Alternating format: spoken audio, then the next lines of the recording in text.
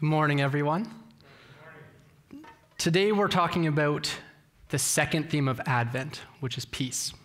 So you heard a reading at the beginning, but remember, Advent is about looking toward the coming of Christ.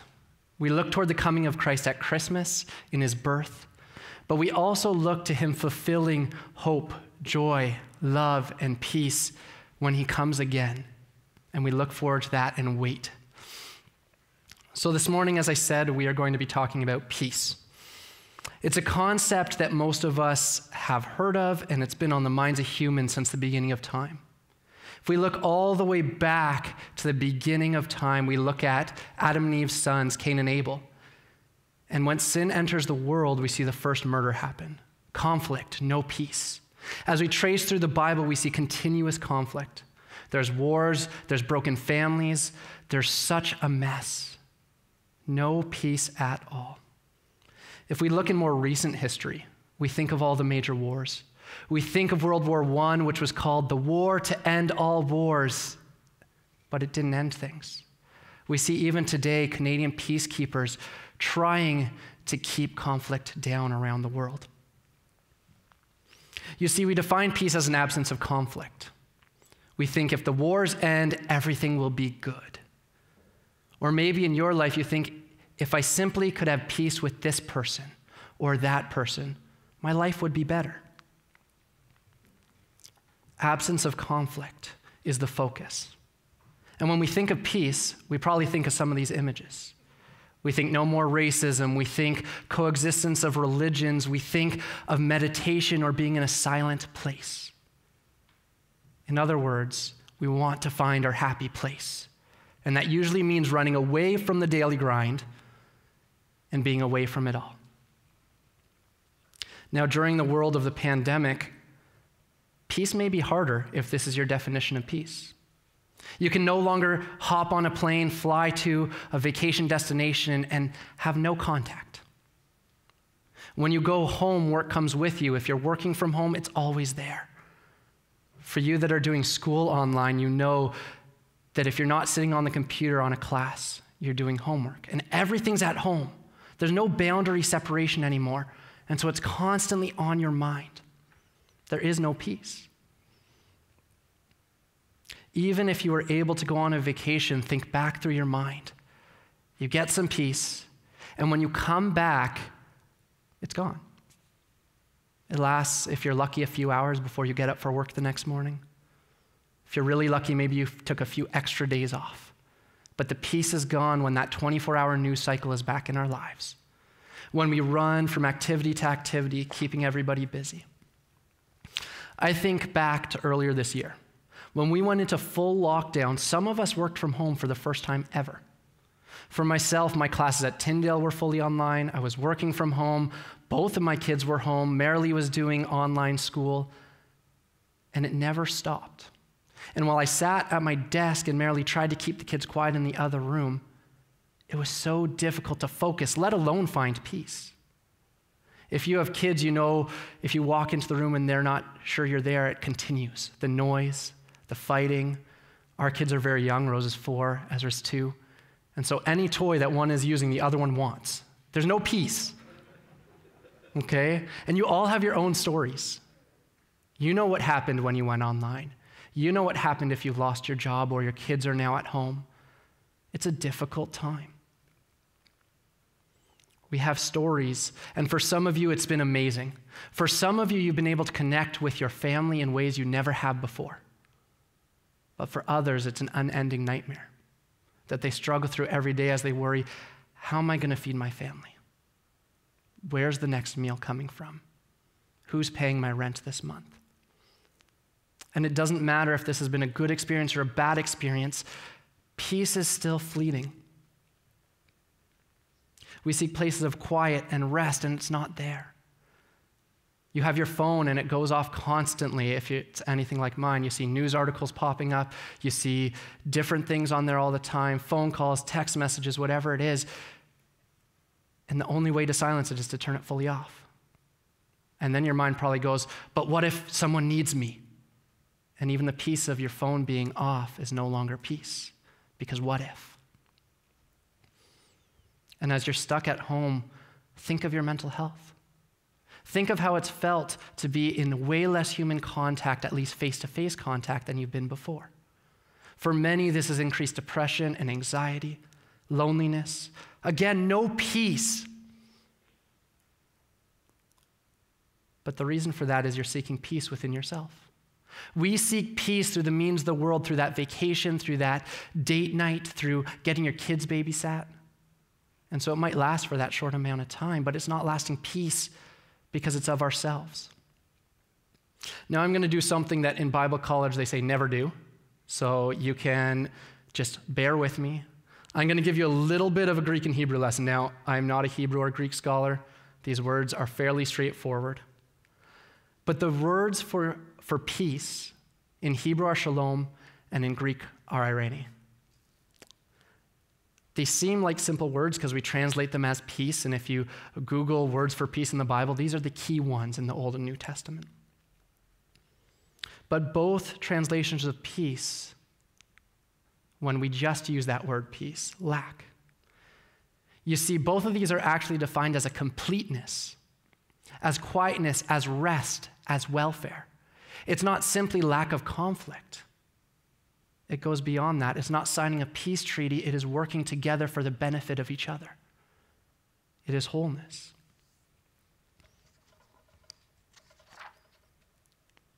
And it's not about one specific area of your life. It's not about peace at work or peace at home or peace in your family. It's everything, it's all together, it's every aspect of your life. Think about this think of a brick wall. When we look at a brick wall and there's every brick accounted for and all the mortars in place, it's whole, it's fulfilled.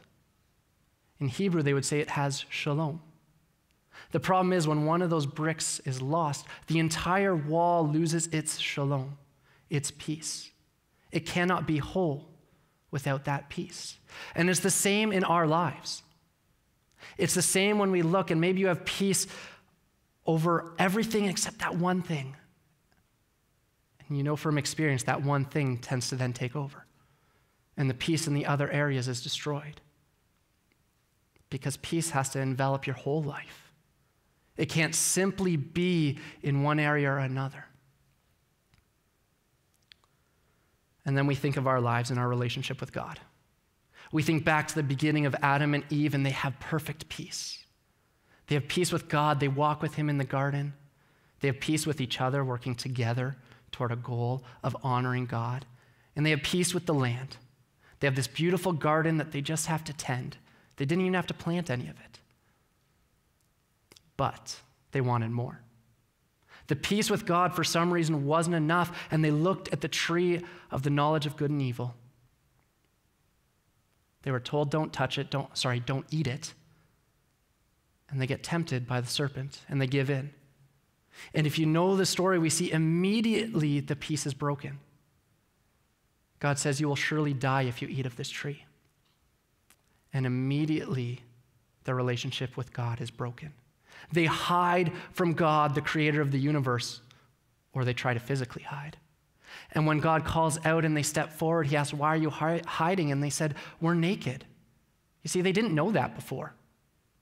There was no issue with that before. But then there was shame. And when God says what happened, Adam says it's Eve's fault. Eve says it's the serpent's fault. And God says peace is gone.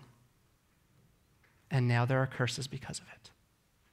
Peace is broken, and immediately peace with God, there's separation. And then Adam and Eve start blaming each other, and they get kicked out of the garden, and they toil day in and day out just to eat. The peace with God is broken, and it affects every area of their life. And this peace continues to today. We read through Scripture all of these conflicts. We know of the different empires rising and falling, war and hate and anger. And because of that sin, we all live in sin. Because of that sin, we are enemies of God. Things aren't right anymore. Now, sin, simply defined, is breaking God's laws or making him sad. It's the easiest way to come to some term of what this sin thing is. But it's those things that separate us from God. We can no longer reach up, there's a gap. God's way up here, and we're stuck. Of our own will, we cannot get to Him. And the book of Romans tells us that that sin is the issue. All have sinned and fallen short of the glory of God. Everyone of all time. And the punishment for sin, the debt owed, is one life. You owe your life. I owe my life for my sins. Not very peaceful. Hopefully, you're thinking we'll get on with it. We're not here to listen about the bad. We know the bad. But what does God offer? So we get to Isaiah 9, verse 6. For to us a child is born, to us a son is given, and the government shall be upon his shoulder, and his name shall be Wonderful Counselor, Mighty God, Everlasting Father, Prince of Peace. That's the prophecy we hold to today. We have a Prince of Peace. He rules with peace. This complete peace, remember, don't get back in your mind going, peace, no conflict. Yes, ruling king can rule with an iron fist. That's not what we're talking about. We're talking about peace in every relationship, everything you do. And Jesus fulfills this prophecy. He is the Prince of Peace. And instead of bringing peace in the way we think of, with a big army coming in and destroying the enemy, he does the opposite. He lays down his life, not deserving death, for he is perfect. But he says the only way to peace is to fulfill justice. We deserve to die for our sins. But Jesus, God Himself, comes to earth and because of his perfection, he can now pay for our sins. You see, I owe the same debt you do. I can't pay your debt. I'm too far in the hole myself. My life can only pay for my debt, but Jesus' perfect life owes no debt. And so his death, his pure blood, pays the debt that each one of us owes. And then he offers that peace for free. He no longer requires death if you believe. We can accept it.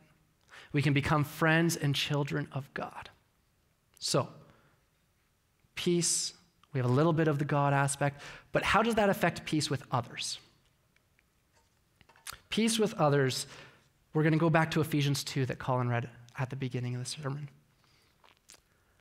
But now, in Christ Jesus, you who once were far off have been brought near by the blood of Christ. For he himself is our peace, who has made us both one and has broken down in his flesh the dividing wall of hostility by abolishing the law of commandments expressed in ordinances, that he might create in himself one new man in place of the two, so making peace, and might reconcile us both to God in one body through the cross, thereby killing hostility. And he came and preached peace to you who were far off and peace to those who are near. For through him we both have access in one spirit to the Father. In Jesus' day, we have the Jews and the Gentiles. The Jews are the chosen people of God, the descendants of the Israelites. The Gentiles are those who are not born of the Jewish race, the circumcised and uncircumcised enemies, by all accounts. The Jews hated the Gentiles so much, or at least were so scared to become broken in relationship with God that they wouldn't even enter a Gentile's house. They would ignore them, they would flee from them. There was no peace. Think of those relationships in your life where you go, Yeah, I probably don't really want to be around that person. That was ingrained in the Jews.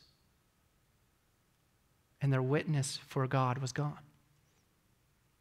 They stayed away from the Gentiles. But when Jesus came, that changed. He came to be the Prince of Peace, He came to fix it. After Jesus' death, resurrection, and ascension, He sends the Holy Spirit. the same Spirit for all who believe, Jew or Gentile. Paul, in his letter to Galatia, says, There is neither Jew nor Greek. Gentile, Greek are used interchangeably here. There's neither slave nor free. There's no male and female, for you are all one in Christ Jesus. Because we can have peace with God, we can have peace with each other. Because God makes us one. We're no longer warring enemies of different people groups. The Bible promises that at the end of time, every knee will bow, every tongue will confess, and we'll hear the voices of every nation and tongue worshiping the Lamb. That is peace. And that's what's offered to us. When we gain peace with God, we can have peace with each other. But not only believers. Don't think, okay, I have to be at peace with the people that go to church, but the people that don't believe, I'm good. That's not what this says.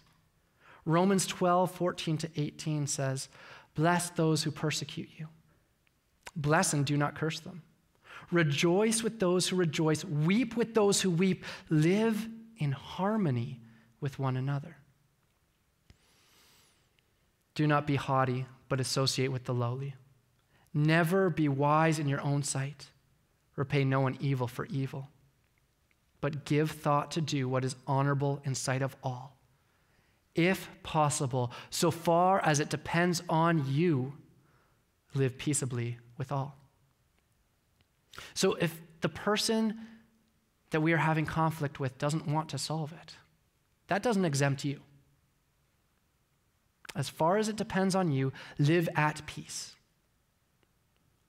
Remember, not just lacking conflict, don't just avoid them, but part of that peace is seeking each other's welfare working for their good, even if they are working for your bad. That's what seeking peace looks like. Is active and a reflection of what God did for us. The second area of life I want to talk about is peace with our situation. When we talk about others, we probably have ways that we seek peace. But when we think about our situation, it gets tougher, at least in my mind. We're in a global pandemic.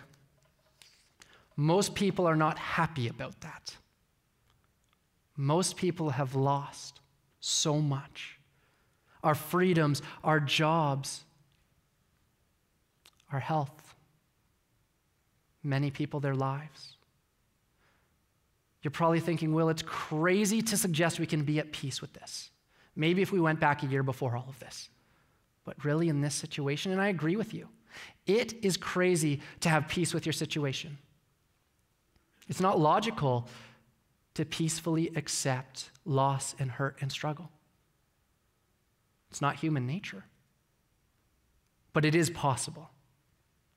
In fact, Paul tells us remember Paul, who gets shipwrecked? He's beaten regularly for the gospel, he's thrown in jail, he writes most of his letters in prison. This is what he says I rejoiced in the Lord greatly that now at length you have revived your concern for me.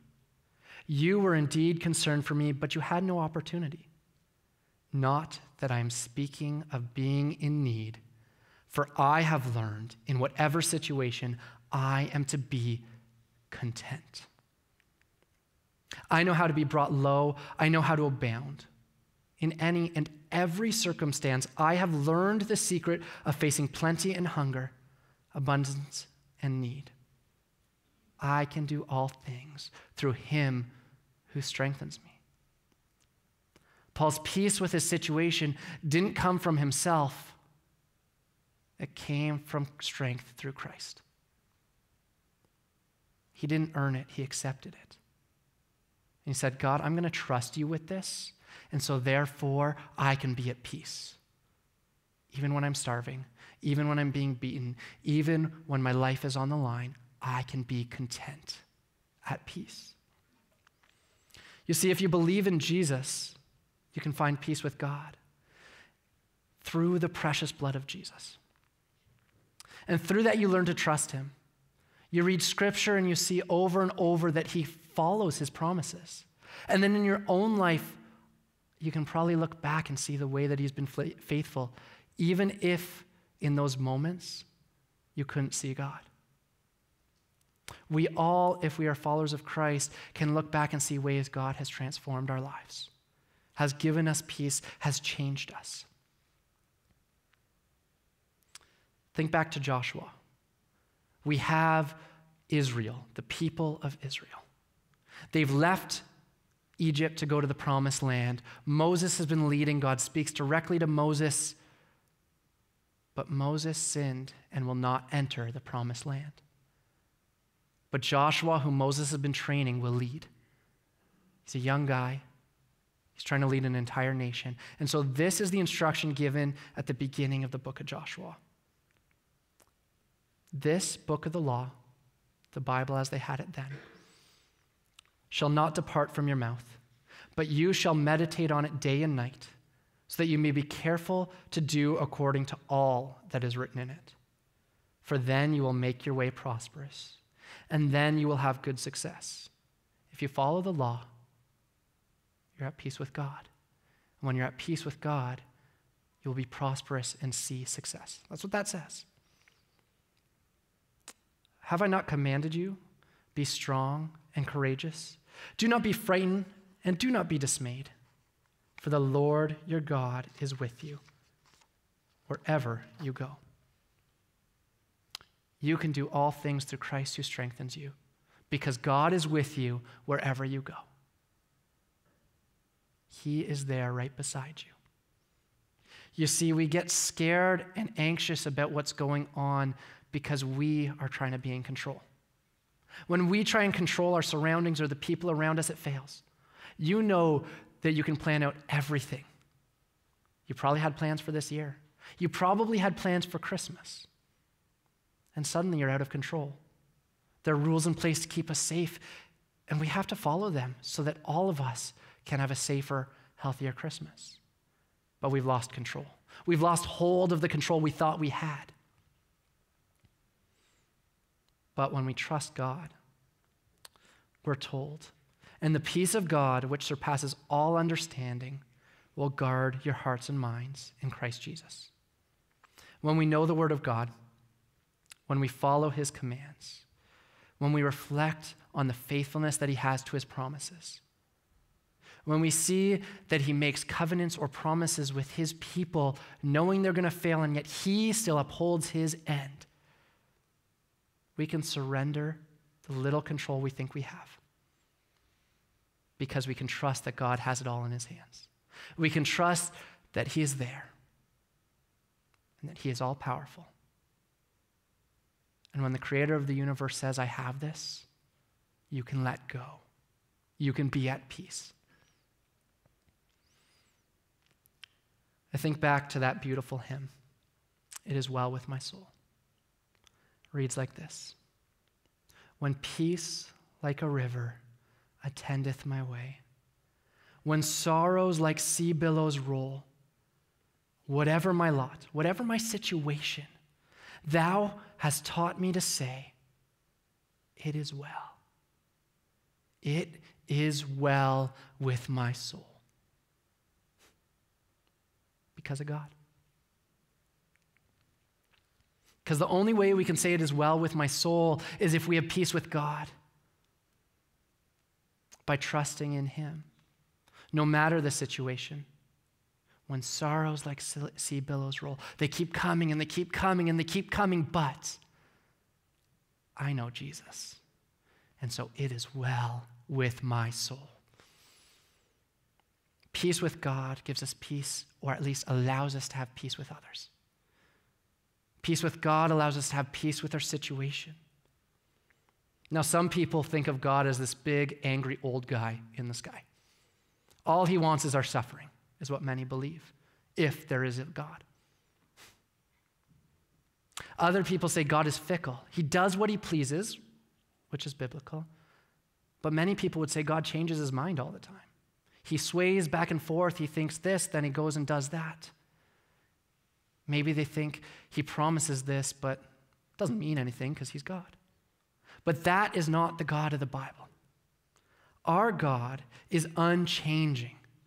He is the same yesterday, today, and forever. That's why we can trust him. Because he is who he says he is, and that does not change. Even from the beginning, he had a solve for sin. If we look back at the curses, Adam and Eve have acknowledged to God that they screwed up. And God lays out punishment or curses for these things. And he says to the serpent, the tempter, I will put enmity between you and the woman, and between your offspring and her offspring. He shall bruise your head, and you shall bruise his heel. Just as the Isaiah prophecy, this prophecy too is about Jesus, the single offspring of the woman. And we see his heel being bruised when he takes on the cross. We see the damage done by the evil one when Jesus suffers and dies. But that's not the end. You see, Jesus crushes the head of the serpent when he rises again. When he says yes to God's plan, suffers and dies to pay our debts, and then rises again and is given the name above all names, that at the name of Jesus, every tongue will confess and every knee will bow. Everyone will worship God, the one true God. As I said before, we're enemies of God when we're living in sin. This relationship that's meant to be together, reliance on God, has been pulled apart by our sins. And the debt must be paid the life that we have must be given. But because Jesus doesn't owe that debt, he has an unlimited supply to pay our debts for all who believe. And he does that with his precious blood. He wipes the slate clean for all who will believe. And this is what he offers Peace I leave with you, my peace I give to you. Not as the world gives, do I give to you. Let not your hearts be troubled, neither let them be afraid. It's not our peace that we gain by believing in Jesus, but Jesus is in perfect peace with the Father. And he says, Give me your burden, I'll give you my rest. Give me that damage, that debt, and I will wipe that slate clean. You can have my peace. And I will take on that separation for a time. And then he rises again and reigns victorious. And that peace that he offers with God trickles down into every other part of your life peace with others, peace with your situation, everything that goes on. We can have peace because we can trust the creator of the universe who made a way for us to be at peace. If we believe in Christ, we are a new creation. The old has passed away. Behold, the new has come. All this is from God, who through Christ reconciled us to himself and gave us the ministry of reconciliation. That is, in Christ, God was reconciling the world to himself not counting their trespasses against him, and entrusting us, to us, the message of reconciliation. Therefore, we, those who believe, are ambassadors for Christ, God making his appeal through us. We implore you on behalf of Christ, be reconciled to God. Being reconciled to God is the removal of the hostility.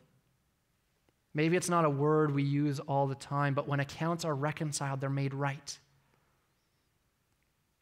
The hostility is gone. And that is what Jesus is offering. And it's a gift. You don't have to pay for it. You don't have any way to pay for it. I don't have any way to pay for it. Jesus paid that price. He reconciled our accounts if we accept that gift. We're offered peace back to the original design, back to how Adam and Eve were before they sinned. Walking with God, talking with God, knowing God intimately.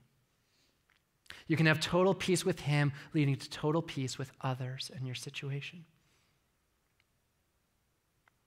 And that's fine and dandy, but does that affect you this Christmas? Because if all you get is Will said some nice words and he offered us a little bit of hope because of peace, and then you walk out and remain where you are, there's been no point in listening. You see, if our peace is stolen by our struggles, by COVID, if one area of our life is not at peace, the whole life is broken. And the area that we need to start with is peace with God. That's where we start. And then we allow that peace to filter through it all. So I want to challenge you. If you aren't at peace, seek God. Surrender control, and maybe you're thinking, Will, that sounds easy, but it's not. And you're right. We're trained from the day we're born to grab control and never let go of it. But when we release that control, when we say, God, I can trust you, He offers us peace. And it doesn't matter whether you have never followed Jesus before or you followed Him all your life. That peace is offered each and every day, every moment. It's not something you get over time, although it is something that develops with God's help It is not something you slowly earn, but it is something that is offered to be grasped every moment. God offers us peace that passes all understanding. And if you have this peace, if you are a believer in Christ and you are at peace with God, that peace should be shared. It's not something that we hoard and hold on to and say, No, I have it, I can't give it away. It's a peace that is offered to all people of all time. And it is our jobs, if we are believers, to share that peace with our coworkers, with our families, with our friends, with our neighbors. It is a peace not just offered at Christmas when the little baby Jesus is born. It is peace that is hard earned by the Son of God, that is offered for free to each of us. And we are offered a chance to join in the ministry of reconciliation. Let's pray. Dear God, as we head into communion, as we head into a time of reflection on the sacrifice that brought peace, we pray, Holy Spirit, that you would come touch our lives right now. That as we sit here and seek you, that you would show yourself as you promise. We pray that the peace that passes all understanding would fill us. That in this moment, if we have not chosen to trust in you, or if we've wandered, or even if we've trusted you, as we seek you, we pray that you would bring us into peace through receiving of the gift of you, Jesus, your life. So we ask as we reflect that you would show us what you've done and the joy, hope, peace, and love that it brings. In Jesus' name we pray. Amen.